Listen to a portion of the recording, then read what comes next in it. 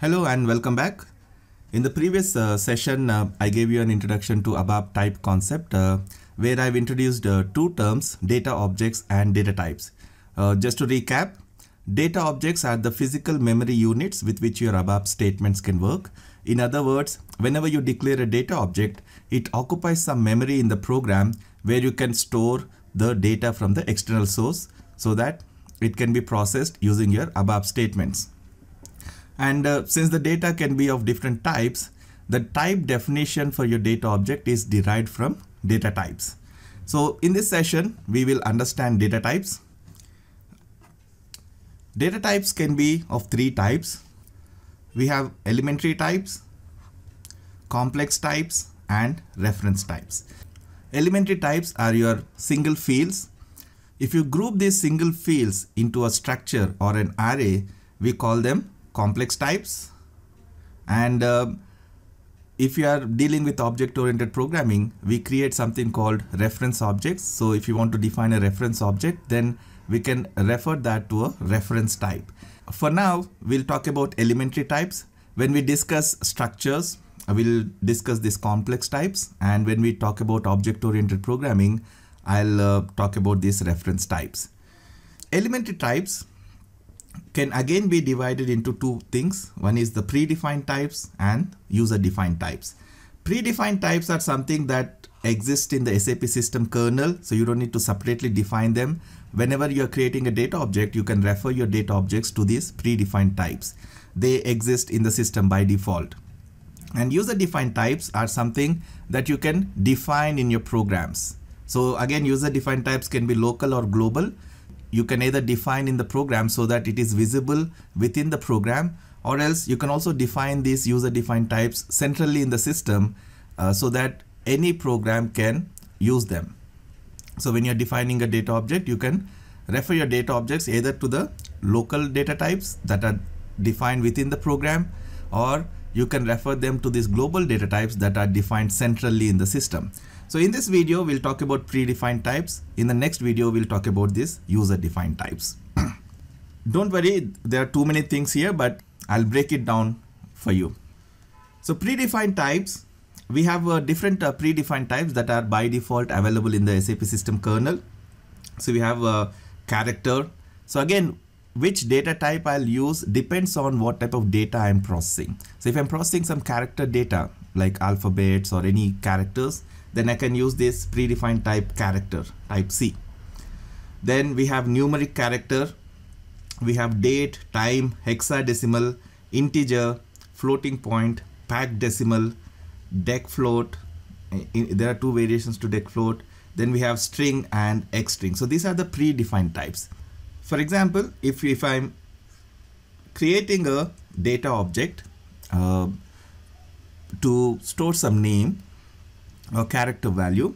I can uh, use this data keyword to define a data object. Then I'll say the syntax is uh, you say data, then the then give name of the data object. Let's say first name, and you say type, and then you refer it to a data type. So if you want to use a predefined type, and if I want this uh, memory to be a character memory or this data object first name to be a character data object which can store characters then I'll say C. If I say C, then the system defines this as a data object which is of type character. Similarly, if I want to store numbers, uh, let's say you want to store a phone number or a zip code, then I can refer my data object to this type n that will create a, a numeric character. So it, it can store numbers, any digits 0 to 9. So if I want to store phone number, instead of C I'll say or let me declare one more. Data phone number type n okay this will store numeric character. But if you notice here for few data objects I've maintained something called fixed length. That means when I'm using these predefined types they already have the length definition as part of the data type itself. So you don't need to separately maintain the length definition. So for example, if I if we take this date data type, then it the length is fixed eight eight digits or eight characters. So when I when I declare a data object by saying type D, here if I say data date type D, then the system will automatically define this data object of length 8 because for date the length is fixed which is 8. I'll just show you the different uh, data types, their length, uh, the default length and default values in a while. So you can categorize these uh, data types by whether they have uh, the length as part of their data type definition or it is not. Okay.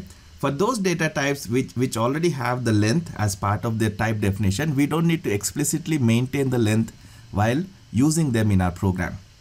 For example, when I say type D, I don't have to explicitly specify the length. The system will automatically allocate that length definition that is part of the data type. So it will be 8 characters. Similarly, time is 6 characters. So when I say type T, the system will create a data object which is of length 6. And uh, I also fixed length. Floating point is also fixed length. Dec float 16 and 34 are also fixed length. So for these data types, I don't need to specify the length. Whereas for other data types, since the length is not part of the type definition, we need to specify the length separately. So if I want to define a data type, data object of type C, then if I don't specify the length, it will use its default length. For type C, the default length is 1. So it will create a data object which can store one character. But if I want this data object to store more than one character, then I have to use this addition length and specify the length. So if I say length 10, then it will create a data object which is of type character and whose length is 10. It can store up to 10 characters. If you try to store more than 10 characters, then the system will truncate the additional uh, values. So the length is fixed. When you define length statically, then that, that memory can only store a maximum of that many characters. If you want to store more than that, then you have to change the definition and increase the length. So if, if I want this to store more, more than 10 and let's say up to 20, then I have to specify 20 here. So you basically give the maximum length that you are expecting to store in that particular data object. So we need data types to derive these technical attributes such as what is a type and length while defining a data object. So the syntax is you say data, your data object name, type, and after type, you specify the data type. So if you want to use predefined types, then you can use any one of them. You have all these predefined types,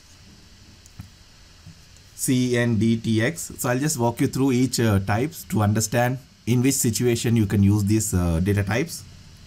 If you want to have a data object or a memory to store any character, any character, then you can use type C. So it can be alphabets, it can be special characters, it can be numbers, anything. But the system will, whatever you store in that memory, the system will read it as character. If you want to store only numbers 0 to 9, then you can use type N. If you want to store date, you can use type D. In SAP, the date format, internal format is YYYYMMDD. So when you store, when you create a date object of type D, the date should be stored in this format YYYYMMDD. Similarly, if you want to process time, if you want to store a time value, you can use this data type T. Uh, the format will be HHMMSS. And if you want to process hexadecimal values, then you can use type X. Uh, what is hexadecimal? Hexadecimal is basically uh, whenever you're storing any data, at the end of the day, in the computer memory, the data will be stored in bytes, right? In bits, binary format, uh, zeros and ones. So a 8-bit binary data can be represented as a two-digit hexadecimal value. So it is more human friendly to read uh, compared to reading zeros and ones. You can represent the same zeros, ones, an 8-bit value in a two-digit hexadecimal value. So if you are really processing, if you really want to access the data at the bits and bytes level. So you, you want to read the binary data that is stored in a particular memory, then we use these hexadecimal values. I'll just uh, show you one example in a while uh, where uh, in a program where we've used these uh, hexadecimal values and you'll understand what is the purpose of these hexadecimal values. Then if you're processing integers, use type i. Integers are having fixed length. So when I when I define an integer, I don't have to specify the length. Whereas uh, for character and even for numeric, I have to specify the length. Date, I don't need to specify the length. And uh, let's say for integer, I don't need to specify the length. It has a fixed length. Then floating point, if you want if you are processing very large numbers you know in scientific calculations you are really processing huge amount of uh, like very big value.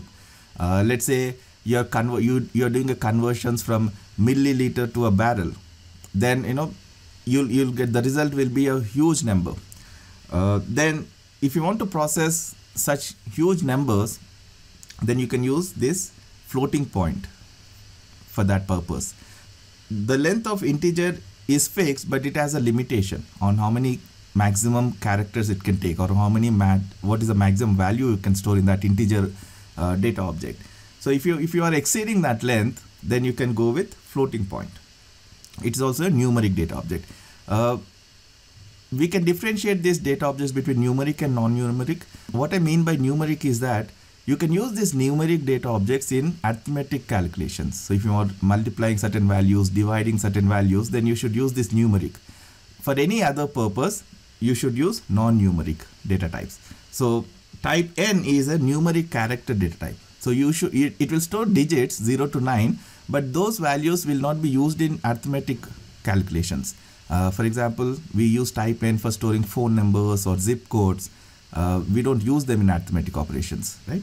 But whereas if you're performing some calculations, then you should use one of the numeric types, either I or F or this dec float. IFP or dec float. These are the four numeric types available. And packed decimal, packed decimal is a data object which can store a value with decimal places. So if I if I'm using integer, it can store a numeric value, but it, it cannot store with decimal places. It will simply round off the value to the nearest whole number. Whereas if you want to do accurate calculations up to decimal points, then you have to use this type P data type. So type P is the data type which can store calculations with up to decimal places. So when you are defining this type P field, you also specify how many decimal values you want to store. So the syntax will be something like this. So I'll say data, let's say total uh, let's say item total type P. You can also specify the length because type P if you see it is not having a fixed length. You can specify length if you want length 10 and you say decimals and specify the number of decimal places you want to store so you have to statically maintain the decimals. So it will always round off the value to these decimals. So if, if the result is having four decimals, then it will, since I'm saying decimals 2, it will round off the value to the nearest two decimal value. So type P fields we use where you want to store with decimal values. Uh, whereas I cannot store values with decimal places. It will only store whole numbers. And we have this uh, dec float. Uh, dec float is basically a com is a combination of type F and type P fields. Okay. One drawback with type P fields is you have to statically specify the decimal value. So it will always round off the result to that nearest decimal value. So if I say type P and decimals 2, then this value will be stored only up to 2 decimals. If I'm doing some big calculations, then I really want more accuracy, then I cannot restrict it to that fixed decimals, right? And sometimes even the same application in one country they may want to show in four decimals, whereas in another country they may want to show only into two decimals. So with type P fields, we have this restriction where I have to statically define the decimal places. And uh, floating point stores values with bigger numbers, but it cannot store with decimal places. So if I have a situation where I want to process a big number and also want to store with decimal places and the decimal can be dynamic, then I use this dec float. So dec float is a combination of type F and type P fields where it can process bigger numbers as well as it can store with decimal values and I don't have to specify the decimal statically. So that's one advantage. So in DEC float we have two DEC float 16 and DEC float uh, 34. DEC float 16 is an 8 byte memory and DEC float 34 is an 16 byte memory. So it can store the DEC float 16 can store up to 16 digits and uh, uh, DEC float 34 can store up to 34 digits. Then we have this uh, string and X string. String is a character uh, data type, but so far if you have noticed, all of the other data types are either having a fixed length or we have to define the length while defining the data type or while defining the data object. Whereas if you are not sure about the length, if you want the length to be dynamic, so the length should be automatically adjusted based on the value you are storing in that memory, then we use this string. So string and X string are di having dynamic length. So string is for normal characters, whereas X string is for hexadecimal values. Okay, so these are the available predefined types. Based on the data you are processing, you decide what type of memory you want to create. So depending on that, you use one of these predefined types in your program. I have covered uh, this topic in much greater detail in my book uh, and uh, luckily this particular chapter is available for you to read free of cost. So let me pull that out. If you go to SAP Press and open my book, uh, Complete ABAP in SAP Press, you will find this browse the book option. If you click on this, it will uh, show you a couple of samples chapters that you can read. And one of the chapters is uh, about data types. So here if we if you check this uh, programming concepts and if you scroll down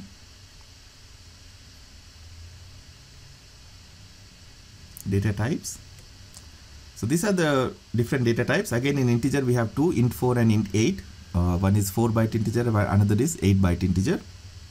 And here I've given a table where uh, I've also given the date format data format and if I scroll down here in this table if you see for each data type there is a initial length a valid length and initial value. So when I use type I it creates a 4 byte memory and maximum is 4 bytes and initial value when when the memory is empty it will have 0 as the initial value. Similarly for int 8 8 byte memory maximum uh, length is 8 and initial value is 0 Type F also 8 byte memory, initial value 0. Type P 8 byte memory, valid length is 8 to 16, 1 to 16 digits and initial value 0. For DEC float we have 8 and 16 and they also having initial value 0. For character types or non-numeric types, type C initial length is 1 and valid length is 1 to 65,535. So this is the maximum length you can have for your character types, type C fields and the initial value is 0 uh, space sorry. For type D the default length is 8 the length is part of uh, type definition. We don't need to specify the length so it will take 8 by default. And maximum is also 8 and it will have zeros as the initial value. So initial value basically means when the memory is empty what what does it store in the memory? So type C field is storing space whereas type D field is storing zeros 8 zeros. And type N also the default length is 1 maximum is 65535 and it will show it will store zeros. So if you define a type n field of length 10 then it will store 10 zeros as the default value. And type t 6 maximum is 6 and length is uh, default value is zeros again. And this is your hexadecimal type where its default is 1 and the maximum you can have is 65535 so these are the different data types, their initial value and default value. So if you see for type C, type N and uh, for type P, whenever you are using these data types, you have to specify the length because length is not part of their type definition.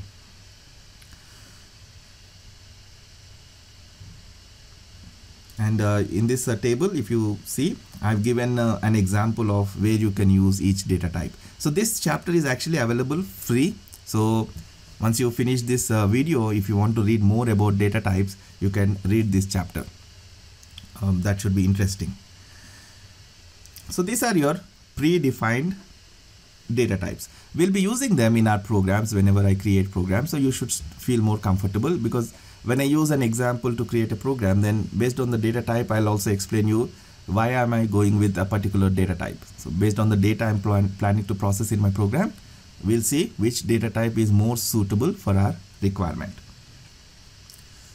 Uh, let me show you one program where I've used this uh, type X fields to process the data at the binary level. If you look at this program, uh, this program basically is pulling some data from the SAP system and uh, the user has two options. He can run this report and he can see that data on the screen. So I'm showing that displaying on the screen or else he can also run this in the background where I'll I'll I'll send that same data as an email attachment as an Excel file for the user to check it out.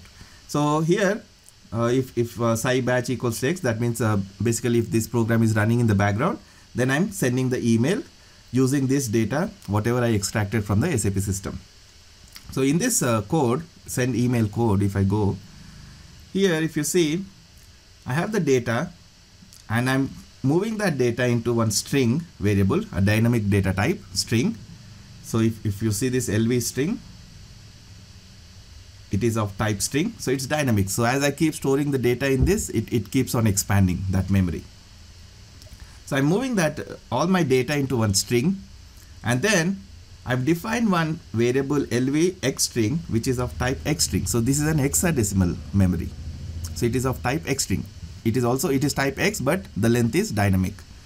Now I'm calling one function module where I'm passing my data that is there in the character format. It will convert that data into an hexadecimal value in the binary format okay this hexadecimal value it's in binary format but it is in hexadecimal. The representation the representation is in hexadecimal format. So i'm passing this hexadecimal again to one function module which is giving me the data in binary. It is actually giving me the binary data zeros and ones. Now that data i'm attaching as an excel file. I'm i'm making the file type as xls and then pushing that as an email to the user. So once the user receives this data as an attachment, when he tries to open that, since the extension is XLS, by default in his computer, the Excel program, Microsoft Excel will be configured to open such files. That Microsoft Excel software now has the binary data. It doesn't have the data in any specific format. It is having the raw data. So that raw data it will use to show it in the Excel sheet. So at the end of the day, any data is stored in binary format. It's just that whenever you use any application or software to open that data, that to read that binary data, that software will apply its own uh, code page to make it presentable. So the same uh, same uh, raw data instead of uh, using XLS, if I use PDF as the extension, then the PDF software can open that data and show it to you as a PDF file. Whereas if I use XLS extension, then Microsoft Excel will try to open that data and it will show it as an Excel file. So if you want to process data, if you want to read the data or store the data or access the data that is there in the binary format in the memory that is stored as binary data in the memory, then we use these type X fields for that. Okay.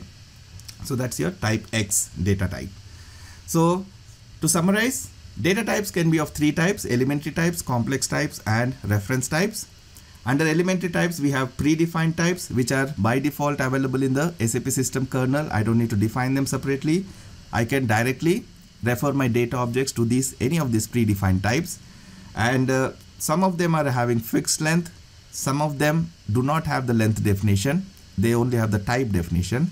So when I'm using these data types, which do not have the length definition as part of their uh, type definition, then I have to explicitly specify the length while declaring my data objects. Whereas those data types which are having length as the part as part of their type definition, I don't have to explicitly specify. So if I want to specify the length, I'll use this length addition, right? To specify the length whereas if the length is already part of the type definition I don't have to use this length addition I just say type D and it, it automatically allocates that much length for my data object because it is having a fixed length So this uh, D, T, I, F and dec float are having fixed length. So whenever you are defining your data objects of these types, don't specify the length. Whereas for others, you specify the length.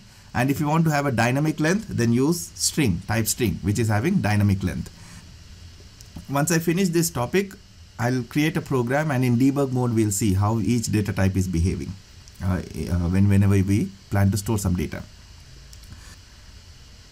So we have this uh, fixed length or you have to specify the length and we also have this numeric and non-numeric. So whenever you want to use any data type in arithmetic operations, use numeric types.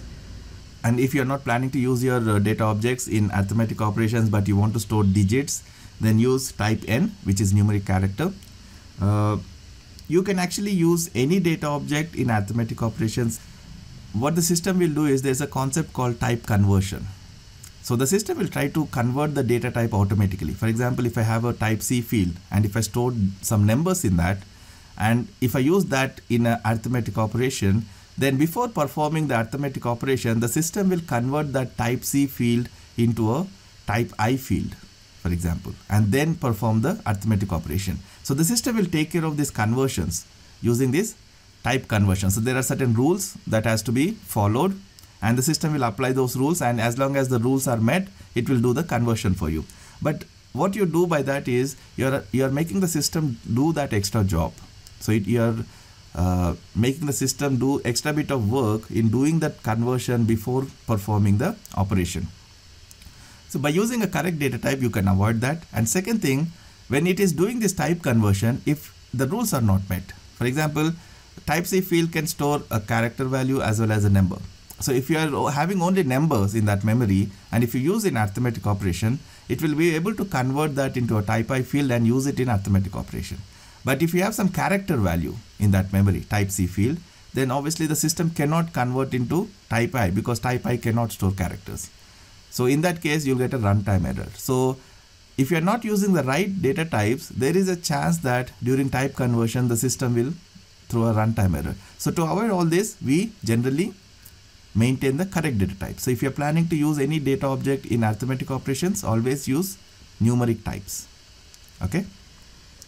Now let's look at one example. I'll create a few different types and then I'll use them in arithmetic operations and see how the system behaves.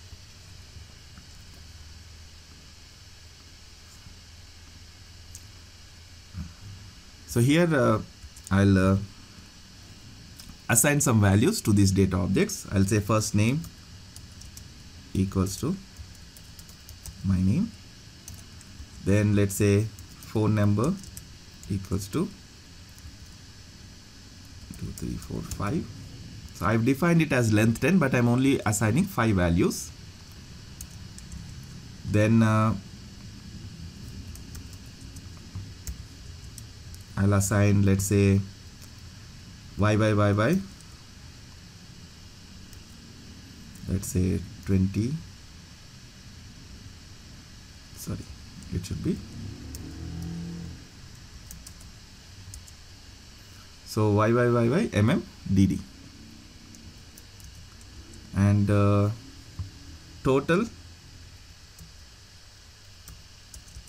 let's say 50 and uh, item total. I'll do some arithmetic operation. I'll say total by 10 something like this. I'll just use one write statement uh, and let's print my first name just the first name. Just to execute the breakpoint. So I've activated the program I'll uh, keep a breakpoint here. For now, don't worry about debugger. Uh, I'll soon explain you this debugger.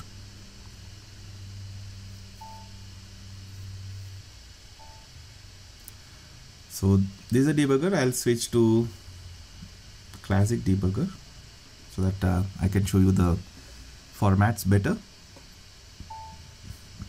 So we'll see one one at a time. So first name,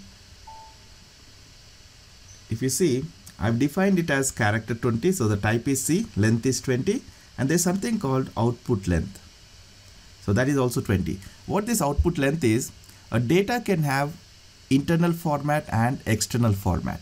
For example, a date is represented as YYYYMMDD intern in intern internally, but when we display it to the user, obviously you cannot display it in that format to the user. You have to display it in a more user-friendly format. So the user in his personal settings might have set the date as uh, date format as dd.mm.yyyy.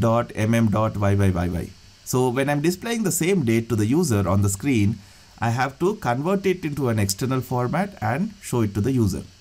Whereas within the program, we always format the date, uh, data in internal format. So similarly, for example, when the user is inputting a date on the screen, um, on your report selection screen, then he will input in external format. I have to convert that to internal format and then use it in my program. So we keep converting this data between internal and external formats depending on what we are doing. Sometimes when you want to convert this to external format, the external format may need more space than the internal format. What I mean by that is, if you see date, for internal format it needs 8 characters, YYYYMMDD. But if I want to convert it to external format and show it to the user, I need two extra spaces because I also need to include the separators. So if I want to display the same date in let's say mm dash dd dash yyyy, then I need 8 characters for the data and 2 characters extra for the separators, right? So in, in those situations, you'll see the length and output length will have different values. So the date can have length as 8, but it can have output length as 10, okay? So for character, both are same, uh, length and output length, it is type C. So when I execute this particular statement, it is storing that value, whatever I'm assigning in that memory. Then we have phone number, which is type n, length is 10. And you can see for character, the default value was space, so it was having spaces. Now for type n, the default value is 0, so it is having zeros. So when I execute this, it is the empty space is still having zeros and the remaining space is filled with the value I assigned. So it is having five leading zeros and then 1, 2, 3, 4, 5. Similarly, date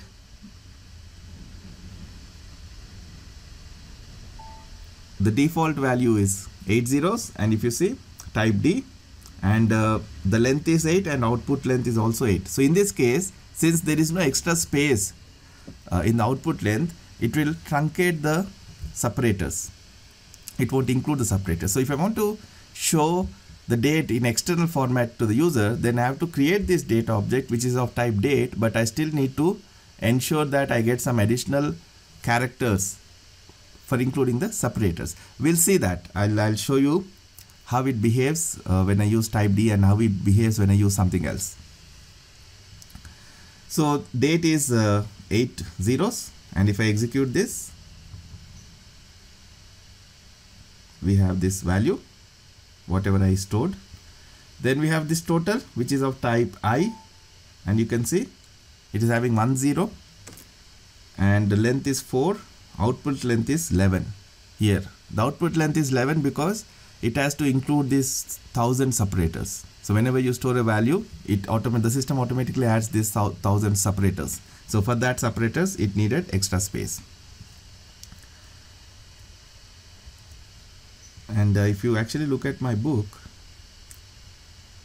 for type I the valid value range is more than 2 billion, minus 2 billion to plus 2 billion. So when I use such values, then obviously I have to include the thousand separator, right? So for that to accommodate those separators, the output length is more than the length. So this is type I and type item total is type P field. So the length is 10 and the output length is 21. Here we have more output length because we have to include the thousand separators plus the decimals and the decimal separator also. So to accommodate all of that, it is having more output length. So it will be double of the length plus 1 for the decimal separator. So if I since I defined uh, this type P as 10, it is having output length as 21. If I define it as length 8, then it will be 8 plus 8, 16 plus 1, 17. So the output length will be 17. So it will be double of the length plus 1. to accommodate the decimal separator. So this is my tot item total type P field. So when I do this total by 10, it should result in 5, right? So that's your different data types. Let me change the values and uh, show you how it behaves. So I'll try to store some character in type n field and uh, I'll use a divider which will result in decimal places. So now we have phone number field which I've defined as type n but I'm planning to store characters. So what should happen? We'll just see phone number.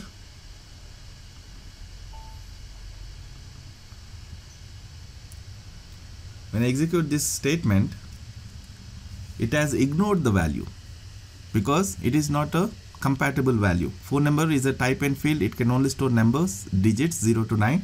Whereas I'm planning to store some character alphabets in that memory. So the system has rejected it. It is not storing that in that memory, right? So that's why it's important that you use the right data type while defining your data objects. Because if you are using incorrect types, then it may reject the value. In some cases, it may even generate a runtime error. I'll also do that.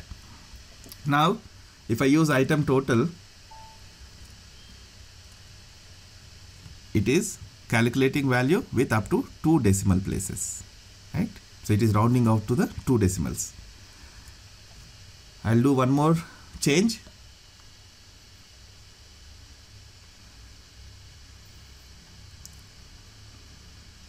In first instance, I'll use character field with some numbers 16 and here in the arithmetic operation I'll use that. And let's see if the system will complain. When I do a syntax check the system won't complain. Because as I said there's something called type conversion and the system will automatically take care of that for you converting the data types.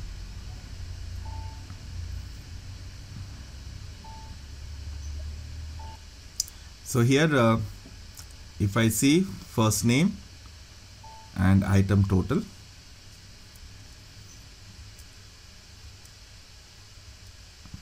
First name is having 16 as the value. Even though it's a number, the system will treat it as character only. But when I execute this statement, item total equals to first name by 3, the system will convert this first name from character to an integer type. And then it will transfer the data of 16 and store it in that memory and then execute this arithmetic operations. It does these things in the background. And as long as it is able to convert, as long as those conversion rules are satisfied, it will create no problem. So it has executed the statement and you have the result 5.33, right? But since this character memory can also store characters if I say 16A for example.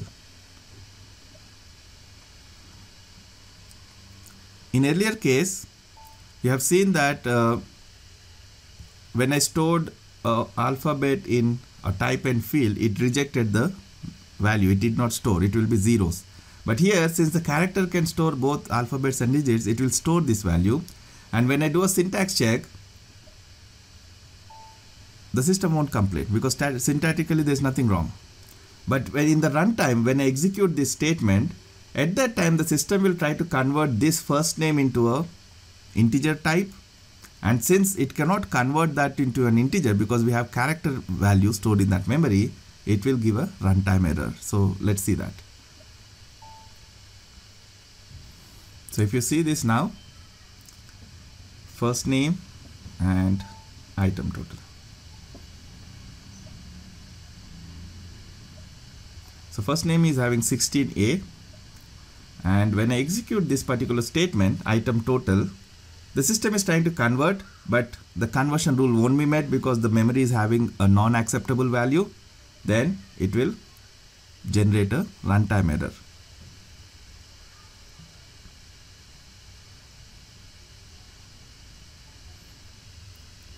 So that's your runtime error.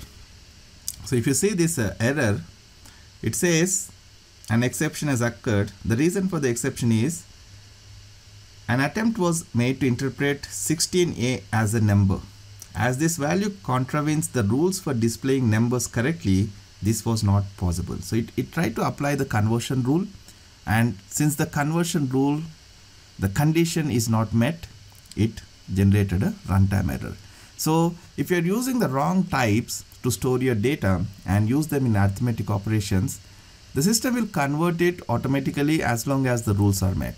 But since when you're using wrong type, there is always a chance of you storing incorrect data in the memory, then there is always a chance that your program will have runtime error under certain situations. So that's why we always try to use the right type to store the right data. So if you're planning to store character values, use it, use character type. If you're planning to store integers and you want to use them in arithmetic operations, use one of the numeric types. Okay, so that's your predefined elementary types. So the elementary types can be of two types. One is predefined types and the user defined types. So in this video, we try to understand the predefined types. There are not many, there are few. And again, you don't have to memorize anything. As we keep using them in our programs, as we progress in the course, you'll automatically uh, remember all these types. So you, you, it's just a matter of time. So you don't have to sit and memorize any of this. Just get an idea about the existing predefined types so that whenever you are you want to create a data object, you can use one of them. And uh, in the next video, we'll talk about user defined types. So see you in the next video.